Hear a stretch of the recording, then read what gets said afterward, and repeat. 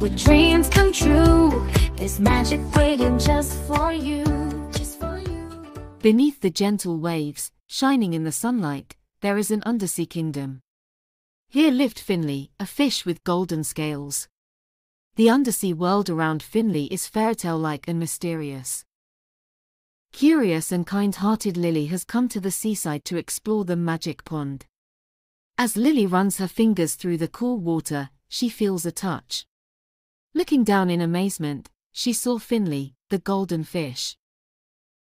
Finley said, Release me, dear Lily, and your wish will be granted. Lily, after thinking about it, decided how much wealth or glory she didn't want. Her wish was for the prosperity of the undersea kingdom. As Finley fulfills Lily's wish, a wave of magic sweeps across the kingdom. Colorful corals appeared, fish played games, and everything under the sea became more lively and cheerful. As Lily and Finley wander the undersea world, they befriend playful dolphins and wise turtles. In the process, Lily discovers that making wishes for others is the real magic. Lily and Finley's adventure breathes new life into the undersea kingdom. Beauty and joy are everywhere, and with joy in Lily's heart, the undersea world becomes even more magical.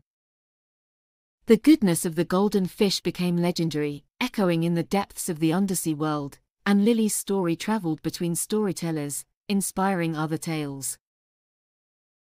Your friends, come along with me. We'll explore every possibility.